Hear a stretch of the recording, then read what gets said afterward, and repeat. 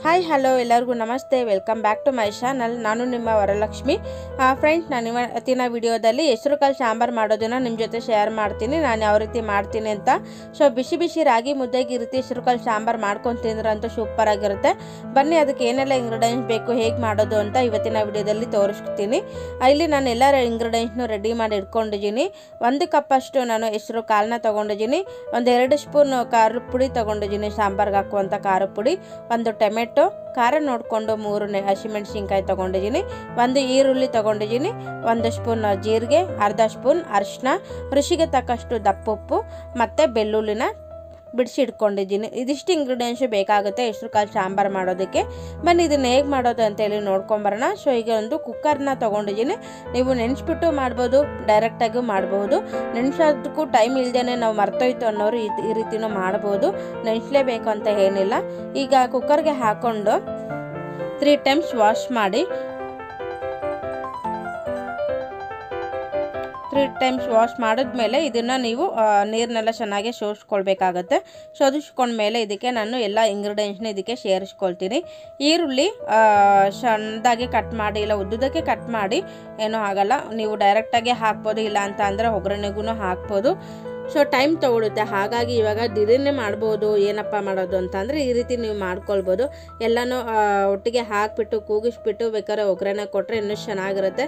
ನಾವು ಹೇಗೆ ಮಾಡಿದ್ರೂ ಸೇಮ್ ಟೇಸ್ಟೇ ಬರುತ್ತೆ. ಸೊ ಇದನ್ನು ಹೇಗೆ ಮಾಡೋದು ಅಂತ ಹೇಳಿ ನೋಡ್ಕೊಂಬನ್ನಿ ಬನ್ನಿ. ಯಾಕೆಂದರೆ ಯಾವಾಗಲೂ ನಾವು ಕಾಳನ್ನ ಕೂಗಿಸ್ಬಿಟ್ಟು, ಮತ್ತೆ ಒಗ್ಗರಣೆ ಕೊಡು, ಮಸಾಲೆ ಎಲ್ಲ ರುಬ್ಕೊಂಡು ಮಾಡೋದು ಇಷ್ಟೆಲ್ಲ ಟೈಮ್ ಇರೋಲ್ಲ ಅಲ್ವಾ? ವರ್ಕಿಂಗ್ ವುಮೆನ್ ಅವರು ಸ ಮನೆಗೆ ಬಂದಮೇಲೆ ಏನಪ್ಪ ಮಾಡೋದು? ಅವರು ಹೊರಗಡೆ ಹೋಗಿ ಸಾಕಾಗಿರ್ತಾರೆ. ಏನು ಮಾಡೋದು ಅಂತ ಯೋಚನೆ ಇದ್ದರೆ ಆರಾಮಾಗಿ ಈ ರೀತಿ ಮಾಡ್ಕೊಳ್ಬೋದು. ಈಗ ನಾನು ಹೆಸ್ರು ಕಾಲಿಗೆ ಒಂದು ಈರುಳ್ಳಿ ತೊಗೊಂಡೆ. ಕ್ವಾಂಟಿಟಿ ಮೇಲೆ ನೀವು ಆ್ಯಡ್ ಮಾಡ್ಕೊಳ್ಳಿ ಇಂಗ್ರೀಡಿಯೆಂಟ್ಸು ಸೊ ಈ ಒಂದು ಈರುಳ್ಳಿ ಕಟ್ ಮಾಡಿಕೊಂಡೆ, ಮತ್ತು ಒಂದು ಟೊಮೆಟೊನು ಸಹ ಕಟ್ ಮಾಡಿಕೊಂಡೆ. ಇದಕ್ಕೆ ನಾನು ಒಂದು ಸ್ಪೂನ್ ಜೀರಿಗೆನ ಹಾಕೊಳ್ತಾ ಇದ್ದೀನಿ, ಅರ್ಧ ಸ್ಪೂನ್ ಅರ್ಶಿನ ಸೇರಿಸ್ಕೊಳ್ತಾ ಇದ್ದೀನಿ. ಇದಕ್ಕೆ ಬೆಳ್ಳುಳ್ಳಿನೂ ಸಹ ಮೇಲ್ಗಡೆ ಎಲ್ಲ ಸಿಪ್ಪೆ ಎಲ್ಲ ತೆಗೆದು ಹಾಕ್ತಾ ಇದ್ದೀನಿ. ಮತ್ತು ಇದಕ್ಕೆ ನಾನು ರುಚಿಗೆ ತಕ್ಕಷ್ಟು ದಪ್ಪಪ್ಪನ್ನ ಸೇರಿಸ್ಕೊಳ್ತೀನಿ. ಮತ್ತು ಖಾರ ನೋಡಿಕೊಂಡು ಒಣಮೆಣ್ಸಿನ್ಕಾಯಿ ಇಲ್ಲ ಹಸಿಮೆಣ್ಸಿನ್ಕಾಯಿನ ಸೇರಿಸ್ಕೊಳ್ಳಿ. ಮತ್ತು ಇಲ್ಲಿ ನಾನು ಒಂದು ಎರಡು ಸ್ಪೂನ್ ಸಾಂಬಾರು ಪುಡಿನ ಹಾಕೊಳ್ತಾ ಇದ್ದೀನಿ. ಈ ರೀತಿ ನಾವು ಹಾಕಿ ಕೂಗಿಸಿ ಮಾಡೋದ್ರಿಂದ ಒಂಥರ ಡಿಫ್ರೆಂಟ್ ಟೇಸ್ಟ್ ಅಂತಲೇ ಹೇಳ್ಬೋದು. ತುಂಬಾ ಟೇಸ್ಟಿಯಾಗಿರುತ್ತೆ ಸೊ ಎಲ್ಲ ಇಂಗ್ರೀಡಿಯೆಂಟ್ಸು ಹಾಕಿದ್ಮೇಲೆ ಇವಾಗ ನೀರನ್ನ ಸೇರಿಸ್ಕೊಳ್ಬೇಕಾಗುತ್ತೆ. ನಾಲ್ಕರಿಂದ ಐದು ಗ್ಲಾಸ್ ನೀರು ಹಾಕ್ಕೊಳ್ಳಿ ನೀರು ಸ್ವಲ್ಪ ಜಾಸ್ತಿನೇ ಇದ್ದರೆ ಚೆನ್ನಾಗಿರುತ್ತೆ. ಆಮೇಲೆ ಬೇಕು ಒಂದು ಕಮ್ಮಿ ಆಯಿತು ಅಂದರೆ ಬೇಕಾದ್ರೆ ಹಾಕ್ಕೊಳ್ಬೋದು ಏಕೆಂತಂದರೆ ಹೆಸ್ರು ಕಾಲು ಬೇಯಬೇಕಲ್ವಾ? ಹಾಗಾಗಿ ಸ್ವಲ್ಪ ಜಾಸ್ತಿನೇ ನೀರು ಹಾಕೊಳ್ಳಿ. ಒಂದು ಮುಕ್ಕಾಲು ಒಂದು ನಾಲ್ಕರಿಂದ ಐದು ಗ್ಲಾಸ್ ನೀರು ಹಾಕ್ಕೊಂಡು ಒಂದು ಸರಿ ಎಲ್ಲ ಚೆನ್ನಾಗಿ ಒಂದು ಸ್ಪೂನಲ್ಲಿ ಸೌಟೆಲ್ಲ ತೊಗೊಂಡು ಒಂದು ಸರಿ ಎಲ್ಲ ಮಿಕ್ಸ್ ಮಾಡಿದ್ಮೇಲೆ ಮಿಕ್ಸ್ ಮಾಡಿ ಸ, ಮೇಲ್ಗಡೆ ಮುಚ್ಚಳನ ಮುಚ್ಚಿಬಿಟ್ಟು ಒಂದು ನಾಲ್ಕರಿಂದ ಐದು ಜನ ಕೂಗಿಸ್ಕೊಳ್ಳಿ.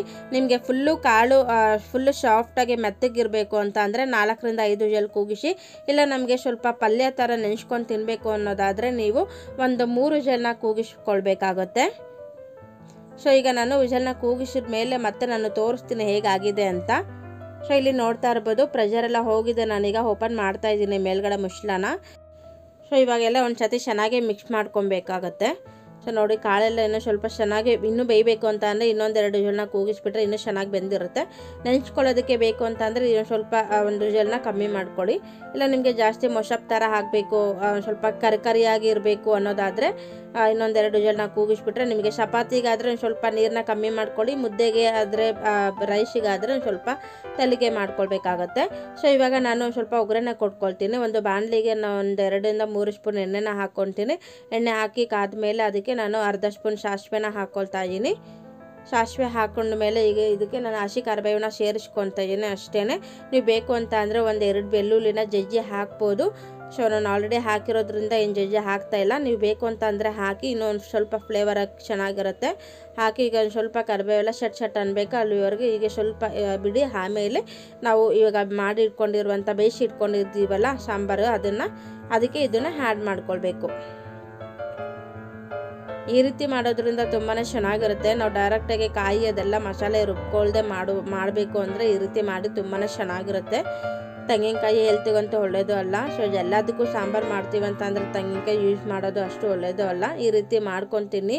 ತುಂಬಾ ಚೆನ್ನಾಗಿರುತ್ತೆ. ದೇವಸ್ಥಾನದಲ್ಲಿ ನಮಗೆ ಪ್ರಸಾದ ಥರ ಎಲ್ಲ ಕೊಡ್ತಾರಲ್ಲ. ಸೊ ಅದೇ ಥರನೇ ಟೇಸ್ಟಿಯಾಗಿರುತ್ತೆ ತುಂಬಾ ರುಚಿಯಾಗಿರುತ್ತೆ. ಆರೋಗ್ಯಕ್ಕೆ ತುಂಬಾ ಒಳ್ಳೆಯದು ಸೊ ಇವಾಗ ನಾವು ಇದಕ್ಕೆ ಆ್ಯಡ್ ಮಾಡ್ಕೊಂಡ್ಮೇಲೆ ಲಾಸ್ಟಿಗೆ ಕೊತ್ತಂಬರಿನ ಉದುರಿಸ್ಬಿಟ್ಟು ಒಂದು ಎರಡು ನಿಮಿಷನಾದರೂ ನೀವು ಸ್ವಲ್ಪ ಕುದಿಸ್ಬೇಕಾಗತ್ತೆ. ಒಂದು ಸ್ವಲ್ಪ ಕುದಿಸ್ಬಿಟ್ರೆ ಚೆನ್ನಾಗಿರುತ್ತೆ ಸಾಂಬಾರು. ಒಂದು ಸ್ವಲ್ಪ ಎಲ್ಲ ಚೆನ್ನಾಗಿ ಮಸಾಲೆ ಎಲ್ಲ ಹೊಂದಿಕೊಳ್ಳಿ ಅನ್ನೋಕ್ಕೋಸ್ಕರ ಒಂದು ಒಂದು ಕುದಿ ಬರೋ ತನಕ ನೀವು ಸ್ವಲ್ಪ ಕುದಿಸ್ಬೇಕಾಗತ್ತೆ. ಸ್ವಲ್ಪ ಕುದಿಸ್ಬಿಟ್ರೆ ಸಾಂಬಾರು ಸಹ ಪರ್ಫೆಕ್ಟ್ ಆಗಿರುತ್ತೆ. ನೀವು ಬೇಕು ಅಂತ ಅಂದರೆ ಇದಕ್ಕೆ ಬಿಸಿ ಬಿಸಿ ರಾಗಿ ಮುದ್ದೆನಾದರೂ ಮಾಡ್ಬೋದು. ಇಲ್ಲ ಅಂತಂದರೆ ಬಿಸಿ ಬಿಸಿ ರೈಸ್ ಜೊತೆಗೆ ಈ ರೀತಿ ಬಡಿಸ್ಕೊಂಡು ಊಟ ಮಾಡಿ ತುಂಬಾ ಟೇಸ್ಟಿಯಾಗಿರುತ್ತೆ. ಸೊ ನೀವು ಸಹ ಮನೆಯಲ್ಲಿ ಟ್ರೈ ಮಾಡಿ ನಿಮಗೂ ಸಹ ಇಷ್ಟ ಆಗ್ಬೋದು. ಹೆಸರು ಕಾಲನ್ನ ಮೊಳಕೆ ಕಟ್ಟಿದ್ರು ಇದೇ ಥರ ಮಾಡಿ ಇನ್ನೂ ಚೆನ್ನಾಗಿರುತ್ತೆ. ನಾನು ಮೊಳಕೆ ಕಡ್ದೇ ಮಾಡಿರುವಂಥ ಸಾಂಬಾರು ಇದು. ತುಂಬಾ ಒಳ್ಳೆಯದು. ನೋಡ್ತಾ ಇರ್ಬೋದು. ಎಷ್ಟು ಚೆನ್ನಾಗಾಗಿದೆ ಅಲ್ವಾ? ಸೊ ನೀವು ಸಹ ಟ್ರೈ ಮಾಡಿ ನಿಮಗೂ ಸಹ ಇಷ್ಟ ಆಗುತ್ತೆ. ಚೆನ್ನಾಗಿ ಕುದ್ದಿದ ಮೇಲೆ ತುಂಬಾ ಚೆನ್ನಾಗಾಗುತ್ತೆ ಸಾಂಬಾರು. ಸೊ ನಾನು ಇದಕ್ಕೆ ಕಾಂಬಿನೇಷನ್ ಬಂದುಬಿಟ್ಟು ಮುದ್ದೆ ಮಾಡಿದ್ದೆ. ಬಿಸಿ ಬಿಸಿ ರಾಗಿ ಮುದ್ದೆಗೆ ಈ ರೀತಿ ಹೆಸರು ಕಲ್ಪ ಸಾಂಬಾರನ್ನ ಬಡಿಸ್ಕೊಂಡು ಊಟ ಮಾಡ್ತಾಯಿದ್ರೆ ತುಂಬಾ ಚೆನ್ನಾಗಿರುತ್ತೆ. ನೋಡಿದ್ರೆಲ್ಲ ಇವತ್ತಿನ ವಿಡಿಯೋ ನಿಮಗೆ ಸ್ವಲ್ಪನಾದರೂ ಇಷ್ಟ ಆಗಿದ್ರೆ ಲೈಕ್ ಶೇರ್ ಕಾಮೆಂಟ್ ಮಾಡಿ. ಹಾಗೆ ನಿಮ್ಮ ಅನಿಸಿಕೆ, ಅಭಿಪ್ರಾಯನ ಕಾಮೆಂಟ್ ಮೂಲಕ ತಿಳಿಸ್ಬೋದು. ಇನ್ನೂ ಯಾರು ನನ್ನ ಚಾನಲ್ನ ಹೊಸದಾಗಿ ನೋಡ್ತಾ ಇದ್ದೀರಾ ಪ್ಲೀಸ್ ಸಬ್ಸ್ಕ್ರೈಬ್ ಮಾಡ್ಕೊಳ್ಳಿ. ಹಾಗೆ ಪಕ್ಕದಲ್ಲೇ ಕಾಣ್ತಿರುವಂಥ ಬೆಲ್ ಐಕಾನ್ ಕ್ಲಿಕ್ ಮಾಡಿ. ಥ್ಯಾಂಕ್ ಯು ನೆಕ್ಸ್ಟ್ ವಿಡಿಯೋದಲ್ಲಿ ಸಿಗ್ತೀನಿ. ಅಲ್ಲಿವರೆಗೂ ಎಲ್ಲರಿಗೂ ಬಾಯ್ ಬಾಯ್